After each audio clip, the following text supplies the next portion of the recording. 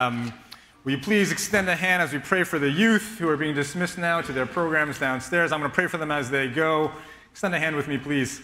God, we pray for our youth as they go um, to learn more about you. May your presence be with them and go with them. May your presence be with their uh, leaders and volunteers.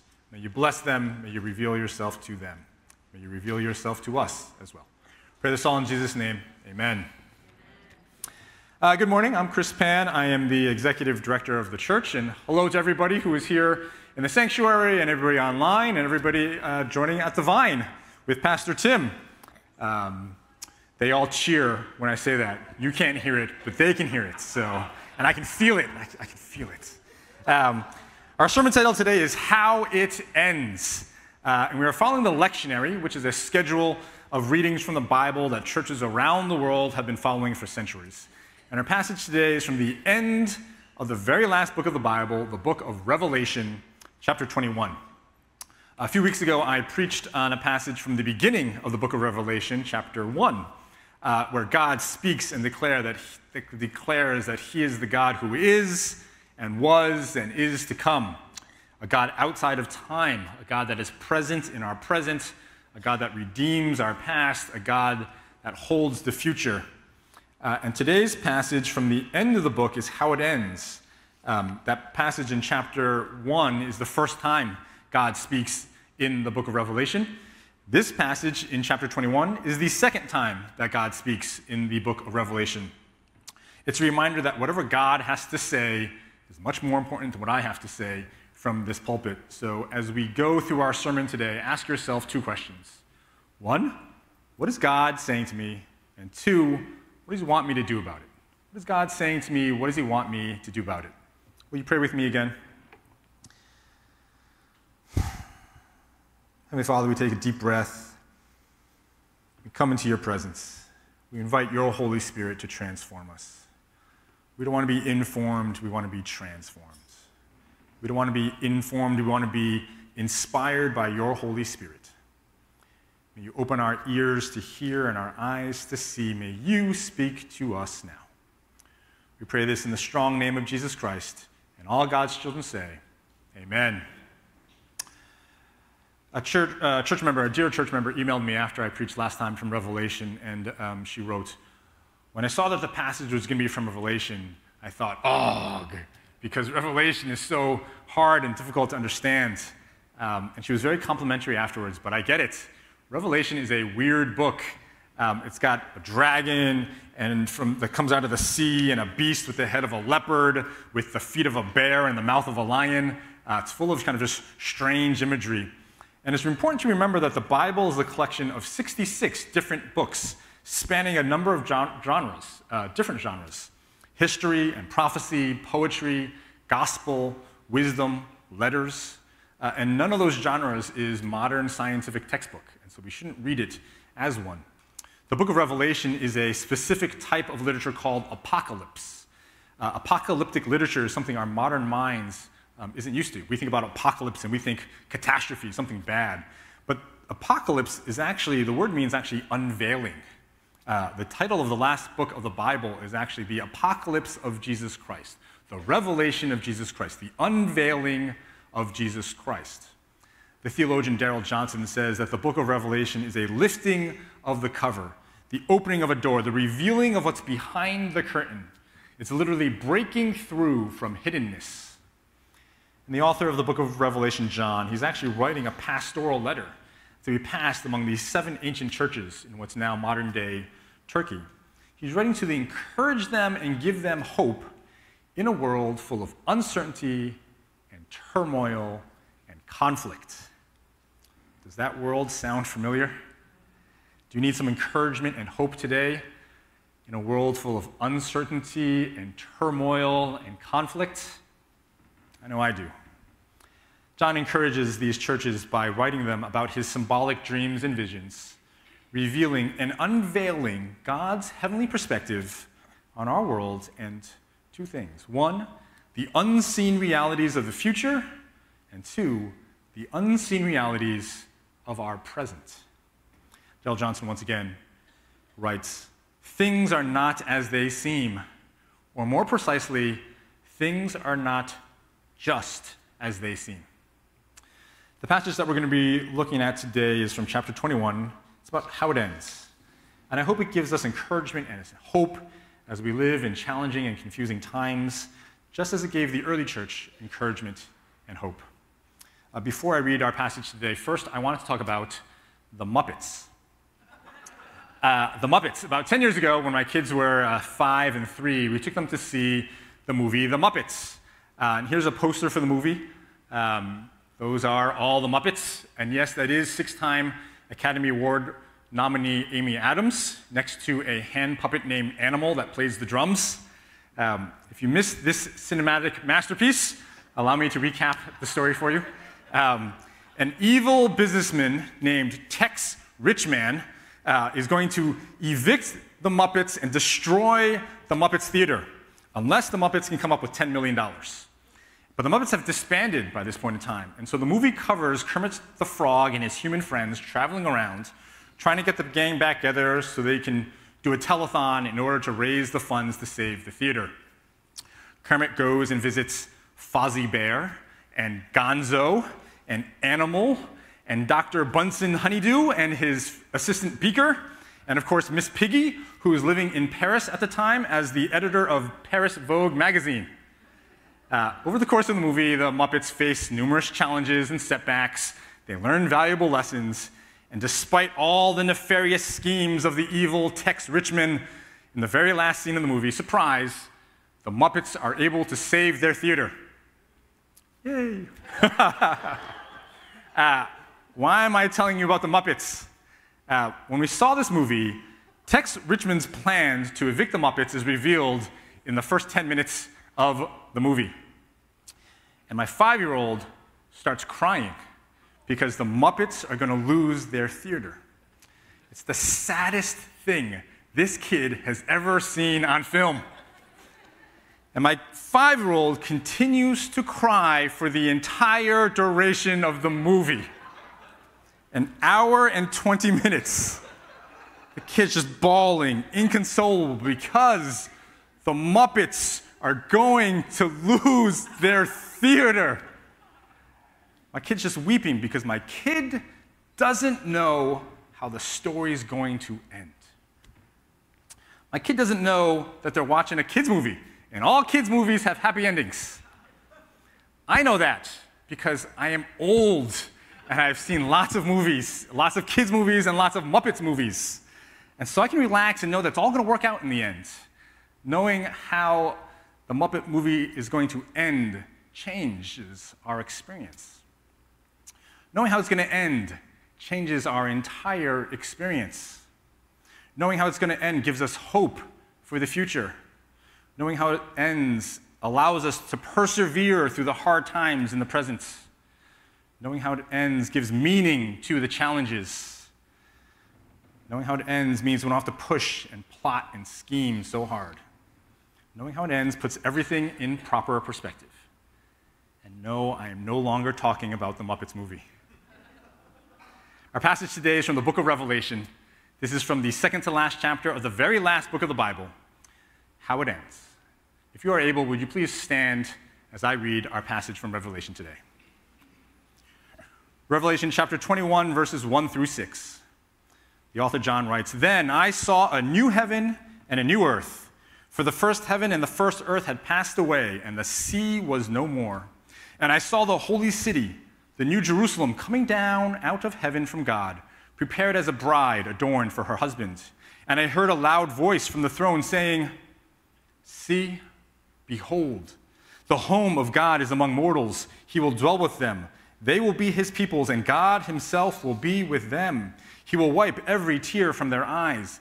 Death will be no more. Mourning and crying and pain will be no more, for the first things have passed away.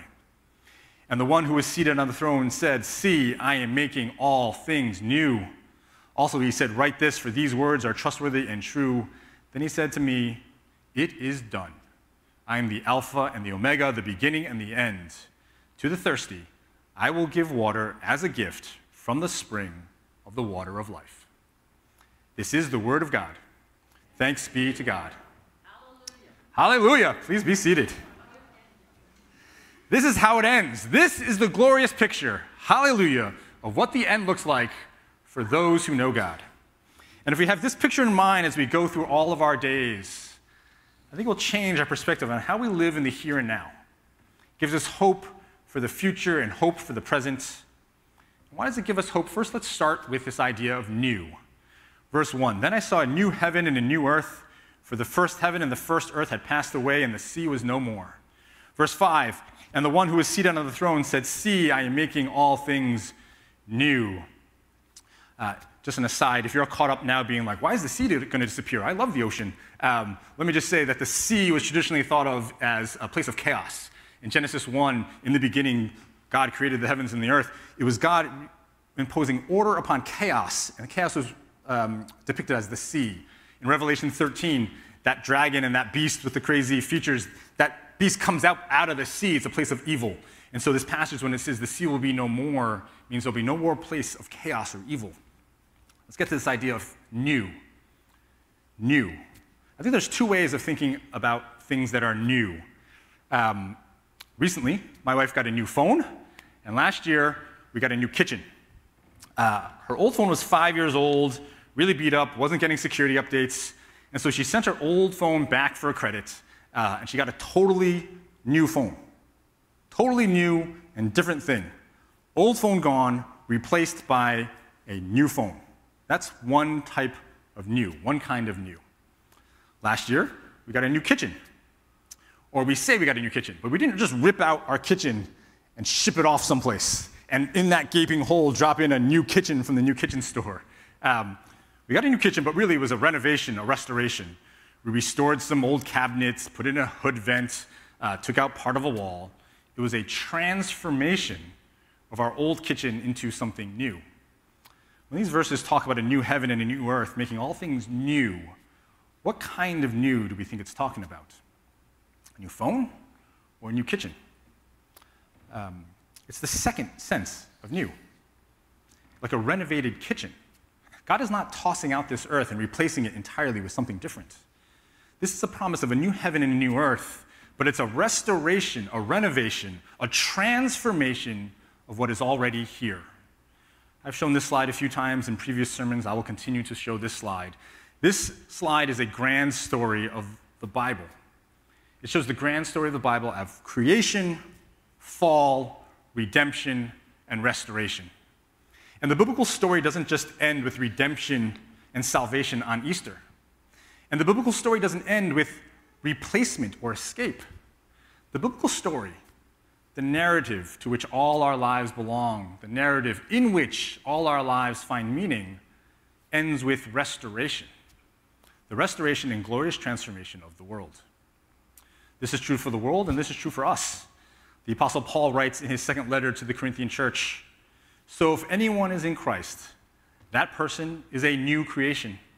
Everything old has passed away. Look, new things have come into being.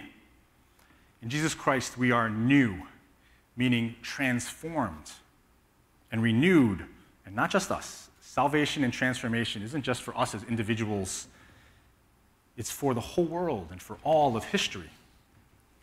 I think this is so incredibly important for our perspective on the future and for how we live in the present. Uh, over the last few decades, a theology of the rapture has become popular in American evangelical culture. I'm going to talk about the rapture now, Please don't get mad. It is okay to disagree. Reasonable Christians can disagree. After the first service, I had a very good conversation with somebody who disagreed with my points, and I think we can agree. We are still brothers, we are still part of the family of God. And so let me now talk about the rapture. Um, the rapture is found in books and movies like Hal Lindsey's The Late Great Planet Earth and the Left Behind series. But the rapture was not Orthodox theology for the first 1900 years of the church. Uh, the rapture is never once mentioned in the book of Revelation. I think the idea of the rapture um, is that Christians get taken up out of this world into a heavenly world. And I think the roots of the rapture um, are actually found in Greek philosophy, ancient Greek philosophy, not the Bible. Um, in Greek philosophy, the physical was bad and the spiritual was good. And so Greek dualism thought that the culmination of this life would be our spirit floating away from this earthly and transitory and bad world to the heavenly and eternal world. But that's not the Bible. In the Bible, Jesus came in the flesh, in a body, to us here. And he was resurrected in a physical body. And he ascended to heaven in a physical body. His body was transformed, and it still had the physical stars from crucifixion. Jesus in heaven comes here. The theologian G.E. Ladd wrote that the Bible, quote, always places man on a redeemed earth, not in a heavenly realm removed from earthly existence. And you can see re- this uh, reality in verse 2 of our passage. Verse 2 And I saw the holy city, the New Jerusalem, coming down out of heaven from God. The holy city coming down out of heaven. The words of the Lord's Prayer that we prayed earlier Thy kingdom come, thy will be done, on earth as it is in heaven. The words of the prayer are not, Help me escape from this world up into heaven. This is how the theologian Brian Blount puts it. Instead of believers being raptured up into the heavens, the city of God is lowered down onto the transformed earth. The ratification of the earth as a place of God's engagement and not a place from which to escape cannot be imaged in any stronger terms. Working for the transformation of the earth is important because the transformed earth is where God works even now to establish God's holy city and thus God's eschatological relationship with God's people. Eschatological is just a fancy way of saying relating to the end times. The earth is the place of God's engagement, it's not a place to escape. Working for the transformation of the earth is important because the transformed earth is where God is working even now. It's where God is working to establish his holy city, his relationship with us. Can you see how this one point makes a huge difference in how we as Christians live in this world now? How we engage, interact with our neighbors and our institutions and our planet. If we think we are escaping here, then we can treat God's creation around us, the planet and the people, like they're disposal, like they're disposable, single use. We can run it into the ground, toss it, and get a replacement. But if indeed the city of God is coming to a transformed earth, then we have to interact with this planet and its people in a very different way. I learned the other day from Pastor Pete Greig that if we continue with current levels of plastic production and consumption by 2050, there'll be more plastic in the ocean than fish. I looked it up, and we are already one third of the way there. If we're escaping here, that doesn't matter. Uh, but if God's kingdom is to come on a restored earth as it is in heaven, then it matters a lot. I think we have a unique position on this. And I think we, I don't mean Christians or Presbyterians, I think we, I mean we, as First Pres Honolulu, because somehow, improbably, miraculously, and somewhat ridiculously, God has given us the gift of 246 acres of conservation land to steward. During service a few weeks ago, I announced uh, our Hakuhia, Hakuhia Pilina work day. And I was corrected afterwards uh, that it wasn't a work day, it was a restoration day. And that's absolutely correct. Here are some photos. A few weeks back, a number of us got out onto the property and we learned from experts how to restore our property. And in particular, we were managing albizia trees. Albizias are uh, a particularly invasive species on the island that grow 20 feet a year. Uh, they have super shallow roots and incredibly brittle branches. And we have thousands of them on our property. But we learned how to strip the bark on the tree with a simple handsaw, and this will address and remove that invasive tree for good.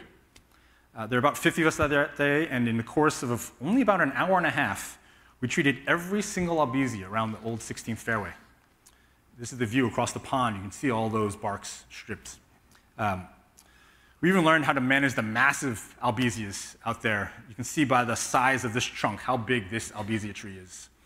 And it would cost us maybe $40,000 if we wanted to bring in a crew to take that tree down.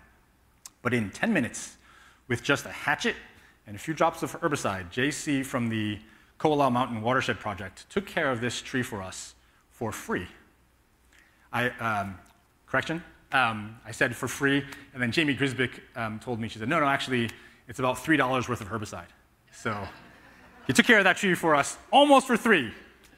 Um, this is the second best picture of Restoration Day. Um, you can see the size of that albizia in the back. It's the huge tree in the back, is that tree that was addressed. Uh, in the front, with the orange tape, is one of the 12 koa trees that we planted. Old, destructive, invasive albizia removed, new, beautiful native tree planted. A picture of making all things new, a picture of restoration.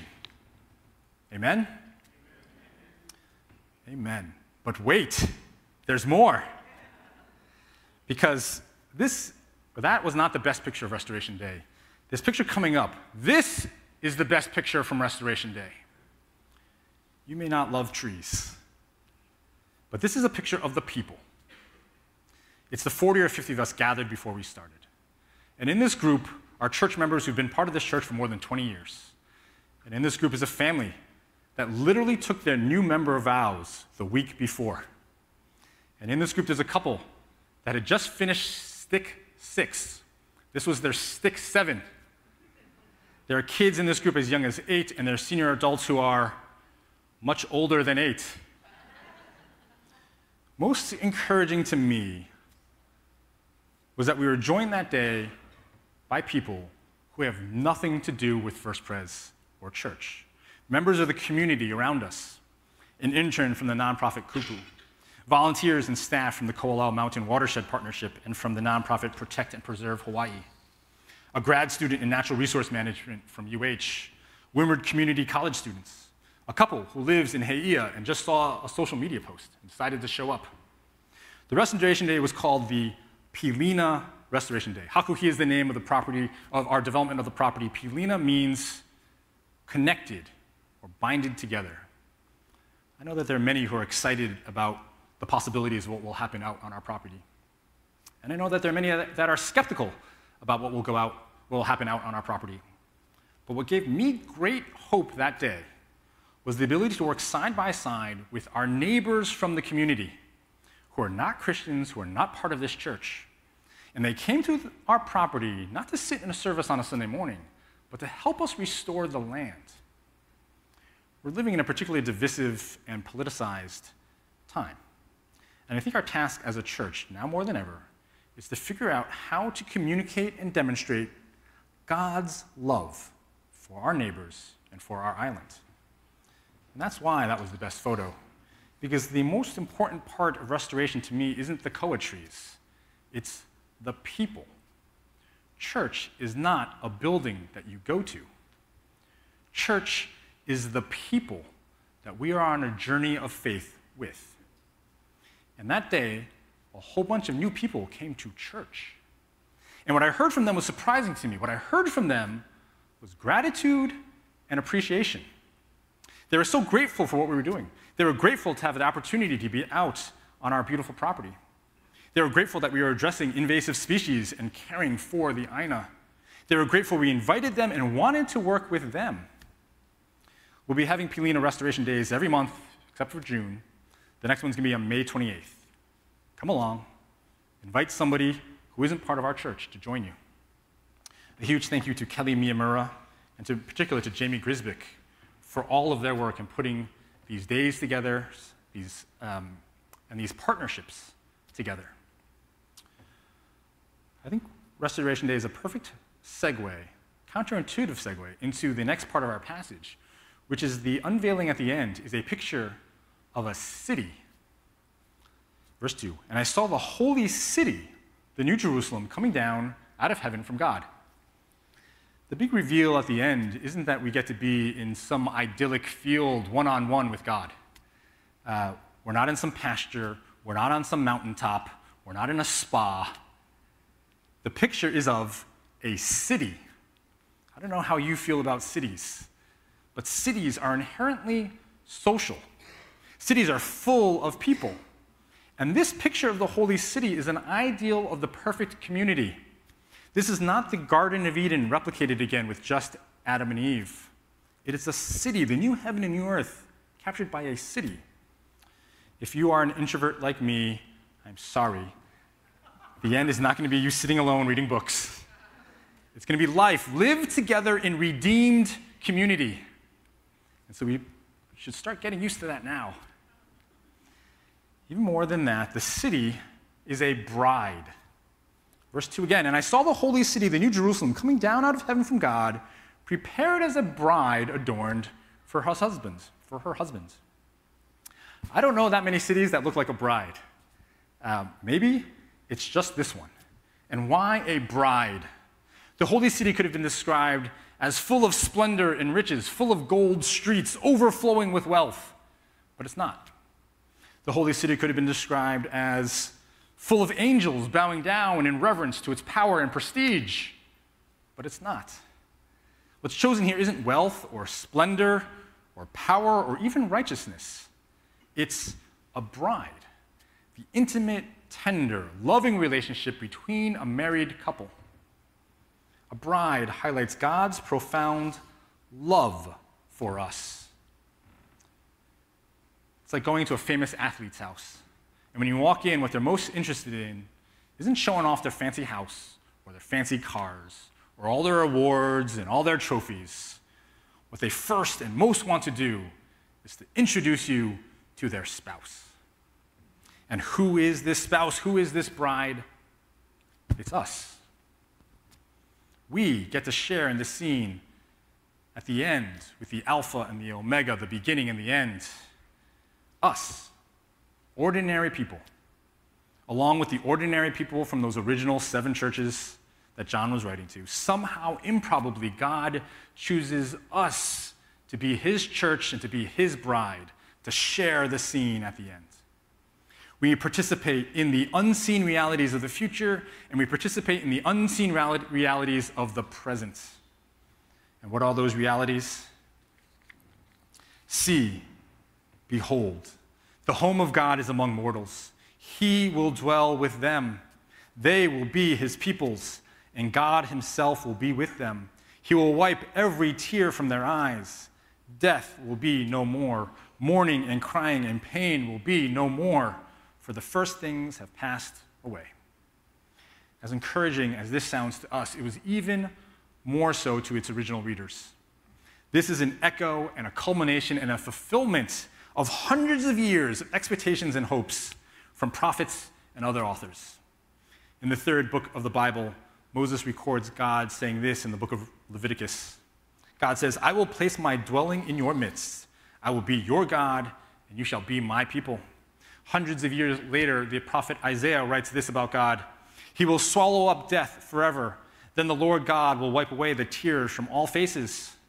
As they continue saying about God, For I am about to create new heavens and a new earth over hundreds of years in different places through different people, different prophets, Ezekiel, Jeremiah, Zechariah, God repeats this promise again and again and again. And this promise comes to fruition in our passage today. In Ezekiel, he says, My dwelling place shall be over them, and I will be their God, they shall be my people. Jesus proclaims in the Sermon on the Mount, Jesus himself says this Blessed are the poor in spirit, for theirs is the kingdom of heaven. Blessed are those who mourn, for they will be comforted all those hopes realized in this vision of the revelation. Every tear wiped away, death no more, mourning and crying and pain no more. God Himself dwelling with His people. No, that's wrong. Um, all those verses from Leviticus and prophets say God will be dwelling with His people, singular, one people group. But if we can pull up that slide again from Revelation 21 3, see the home of God is among mortals. He will dwell with them, and they will be his peoples. And God himself will be with them. Peoples, a group of peoples, plural. I wasn't born Jewish, I wasn't born into the nation of Israel. Uh, not a lot of us here were. And in this vision, God is dwelling not with just one nation, one chosen people. His love is offered to all peoples not just Israel, not just First Pres, all peoples. In light of this vision of the unseen realities of the future and the unseen realities of the present, so what? What does it mean for us now? Last week, Pastor Steve preached about Jesus healing a man with leprosy and how God rewrites our story. And when Jesus heals the man, it was actually step four of four. Jesus notices the man. And then he has compassion for the man. And then he touches the man, and then Jesus heals the man. And we may not be able to heal like Jesus, but we can do the first three. We can notice and we can have compassion and we can be present and extend a hand and a touch. We can hope for the future and we can work for that future in the present. We can hope for that future in the present and we can join God in His work of restoration happening even now. I want to show you a clip from the program 60 Minutes about a nurse on Mercy Ships, uh, which is a Christian nonprofit that is essentially just a big hospital on a boat. Um, the ship travels around West Africa and it provides healthcare, free healthcare for those in need, um, particularly surgery for cleft palates and benign tumors, cataracts. They literally give sight to the blind. And the, and the doctors and nurses and staff all on this boat are all Christians, and they are not paid. They pay their own way to provide health care to those in need by raising support like missionaries. And in this clip, the patient you'll see has a benign tumor, and it looks horrific, um, but it's actually just tooth enamel that didn't stop growing. Uh, in the US, a dentist would take care of this long before it became a problem. But in places without regular access to health care, it becomes a disfiguring tumor. And you'll see this clip, it's a 15 minute, 60 minutes clip. I'm only going to show you about, you know, less than two minutes. I'm going to show you a clip about this nurse. And what this nurse does, I think, is something we all can do.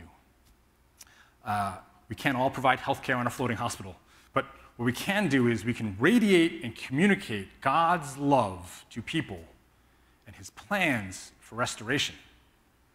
Please roll the clip. Ali Chandra is from New Jersey. You know, you could be a nurse anywhere, you could be a nurse back home. I wonder why you do this work. I could never be a nurse back home anymore. I could never go back. There's just this sense of real community that I would really, really miss if I ever left. One of her jobs in this community is to care for the sickest patients. You're all right, baby. You're all right. This is Esther, another one of the tumor patients, as her breathing tube was being removed. Okay. Esther's tumor was massive and her recovery a desperate struggle. Hey, I hear your voice. I hear your voice. You can talk to us. That's so good. make. Esther could not understand the language, but the touch was unmistakable. Good job, sweetheart. You know that there are some people watching this interview who are saying to themselves, I could never do what she does. Those poor people are terribly disfigured. Mm-hmm. I can't look at them.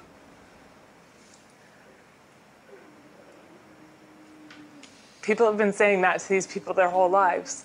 And someone has to look at them. Someone has to look them in the eye and tell them that you're human and I recognize that in you. And it's really interesting when, sorry, when new nurses come a lot of the times, they're, they're very shocked. And you can tell that this is, you know, I, and you remember that. Oh, yeah, the first time I saw that, that was kind of shocking. But you, it gets to the point where you don't, you don't see it anymore. You don't see the tumor. You just can see the person's eyes, or if they only have one eye because the other one is a tumor. You find their eye and you find a way to connect with them.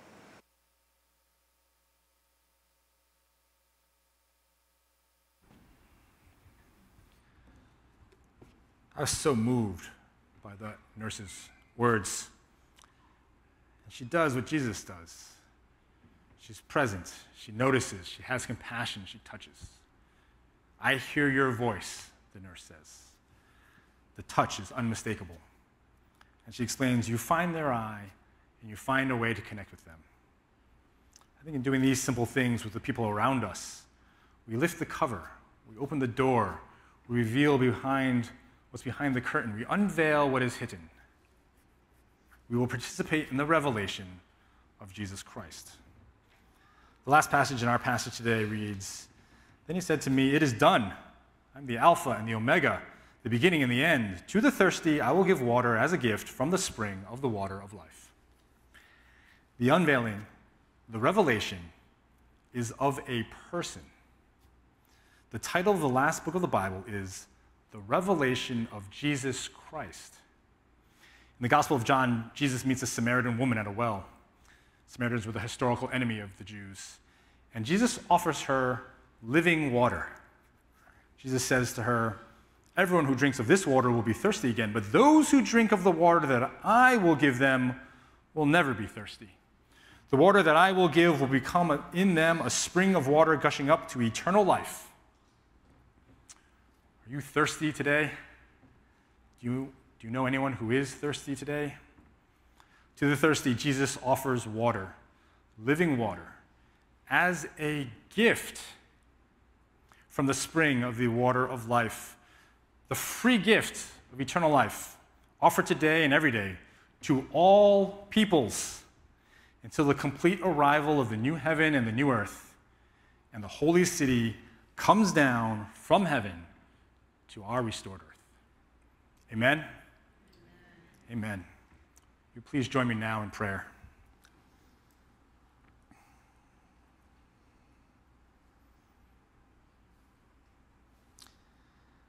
God, we give you praise and we give you glory.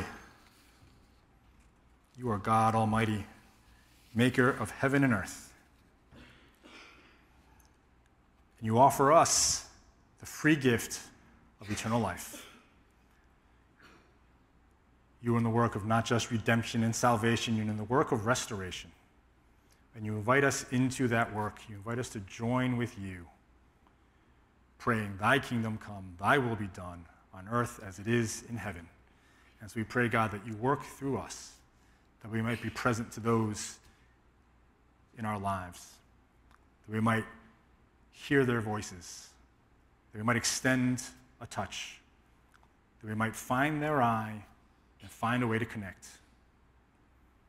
God, may you lead us. May we join you in the work that you are doing in the world. We pray this in the strong name of Jesus Christ. And all God's children say, Amen. And, uh, now, please receive this final blessing.